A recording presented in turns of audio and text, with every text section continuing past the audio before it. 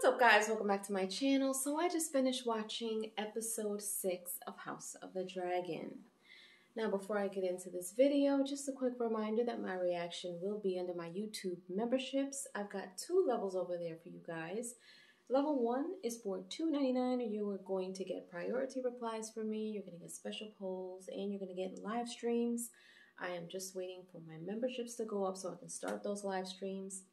Level 2 is for $4.99 and you're going to get everything that level 1 has. Plus you're going to get all of my reactions to shows like this one, Dragon Ball, Naruto, all the movies that I watch, and all of my uncut try not to laughs. So go over there and check that out. Now, episode 6 started with them all being a little older. Some years have passed now. Um, I think it was about 10 years that has passed since the last episode, which is crazy to me how they're accelerating their time and ages like that. But it's fine. I'm okay with that. At first, I didn't know who the, the, the girl was that was giving birth, but then when they called her princess, I was like, oh, okay, this is supposed to be Rhaenyra older. So, where do I begin with this episode? This is absolutely insane. So, the king is still alive. I for sure thought that he was dead the last episode, but I gotta say, they did a really, really, really good job at making him look sickly and super old in this episode. He looks like he's got one foot in the grave. I'm sorry to say it that way, but he's still coughing and we didn't see too much of any uh, physical issues like we've seen in the past episodes. Um, but he's definitely very frail in this episode. Um, the queen seems to be a little more in her queen role, a little bit bossy, a little more, you know, like trying to get a handle on things. We don't see her trying to um, be cool with Rhaenyra. It almost seems like she's now kind of undermining her in this episode. Um, we all we see now that they both have sons, um, ten years old, a little younger. Uh, Rhaenyra just had another baby, so she's got three sons. Um, the queen has two sons, two sons, I think. Um, we also see that what is his name? The guy that Rhaenyra, her love interest, that told on himself in the last episode. We see an, a part in this episode where he is training the boys with their sword fighting and everything like that. And he seems to pay more attention to the queen's sons opposed to Rhaenyra's sons. And I'm like, okay, I see. He's still really, really bitter and upset about what happened because it clearly shows when he's showing more attention to them, he doesn't care much for Rhaenyra's sons. He even calls her the C word at one point when he's talking to the queen and he's walking with her through the quarter, through the castle or whatever.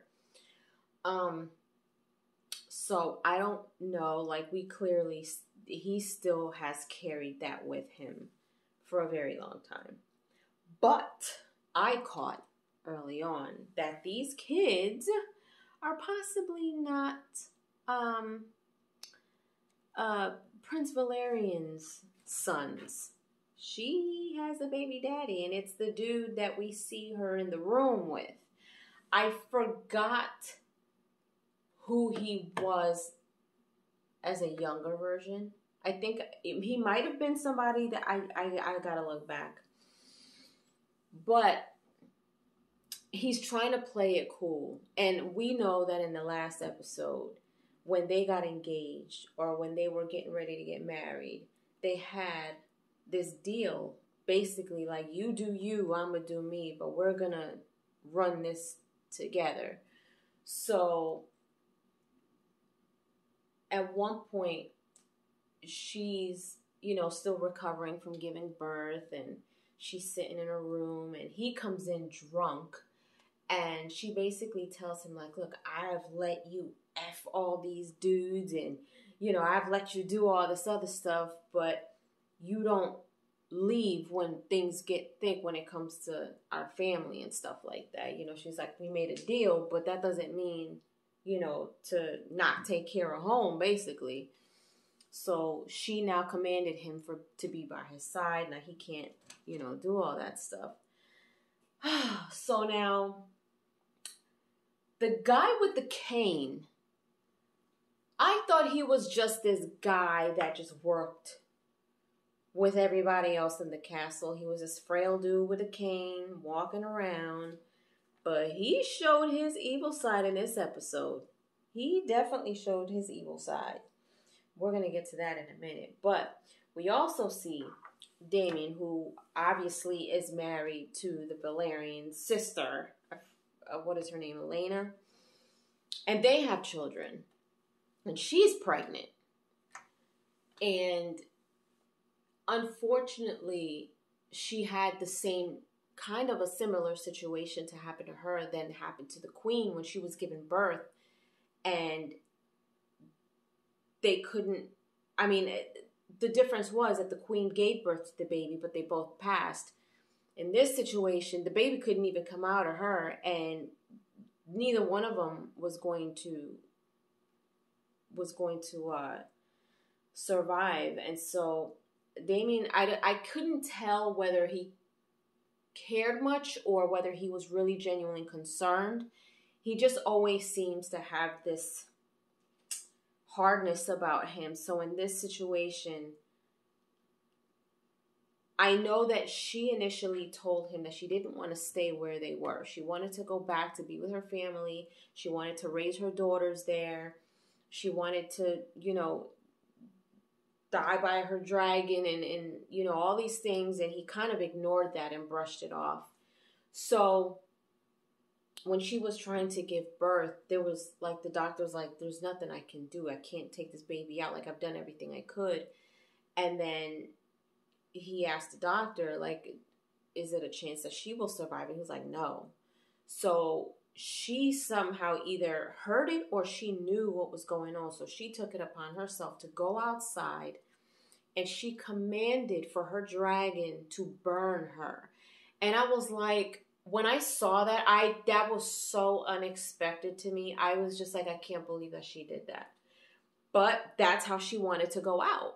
That's how she wanted to go out. And it was sad to see and you can tell that it bothered him so like it really did bother him. He didn't break down or anything but he just didn't seem to know what to do. He saw it happen and so later on we see that his daughters are crying and everything. Um so we don't know what's going to happen there. Now at one point in this episode i was reminded of homelander I was not expecting the queen's son to be caught in the window of his room handling his business, butt naked and all. The the only thing that came to me was Homelander. I was like, uh, here too? Are you kidding me? I don't know. He it, it seems like he's a bit disturbed and she didn't seem to be surprised by it either. So that didn't last very long, but she was basically like she wants this is her first their firstborn son, so she wants him to be king and she's you know the queen called him or whatever but they're having this conversation she's basically saying like you need to get dressed and get your stuff together like you know you can't be carrying on like this so anyway, towards the end of this episode, we see that the guy with the cane, he's having a conversation with the queen after the king's right hand man wanted to resign. Now, in this situation, we kind of see that when the guy that was Rhaenyra's love interest was downstairs with the baby daddy, um, they were kind of battling it out. He was giving favoritism to them, and then then two got into it, and they were fighting, and the dude was punching love interest in the face so much that they pulled him off. and he basically called them out like why are you giving him so much attention? Like you would only do that to a cousin or a son. And that's when they started fighting. And i was like oh shoot. Like i kind of had some type of idea but then when he said that i was like all right. So you heard them at one point arguing when it came to that guy and was it Aragon? I think that's his name, and um, the king's right hand man. They were arguing because obviously he knows, and the king knows too. He noticed it, and you know it. It was it was a real sticky situation for his right hand man. So I think that's why he went to go resign, but the king wouldn't let him so the queen was in the room when this all happened, and the queen was like, "Well, what's what's the black cloud?" Because that's how he described it. He was like, you know, and it just keeps getting worse. And so he basically was like, "All right, well, I got to take my son back, and he since he's the heir of, you know, my throne or whatever, my family, while I still continue to serve you." So she goes back to talk to the guy with the cane, who seems to be some random dude that just kind of helps around. But this dude is quite evil. So they're having a conversation, and I guess she kind of insinuated, she told him what happened, and she basically was like, Look, like, if my dad was here, he wouldn't be afraid to talk to him or to tell him the truth and have my back, basically. I guess she kind of feels like nobody has her back. So he's having dinner with her or whatever. I don't know if she just confided in him over the years and she's just kind of. Because he seems to know everything that's going on in the castle. He seems to know all the gossip and all the stuff that's going on. So you see him going down into this dungeon where he has these prisoners and he goes to one of them and he's like, "All right, I can set you guys free for a for a fee. Like you guys got to do me a favor or something like that." And he goes and cuts the tongue of one of them. Then you see he has like this little beetle type of thing on his cane, and I don't know who he's supposed to be.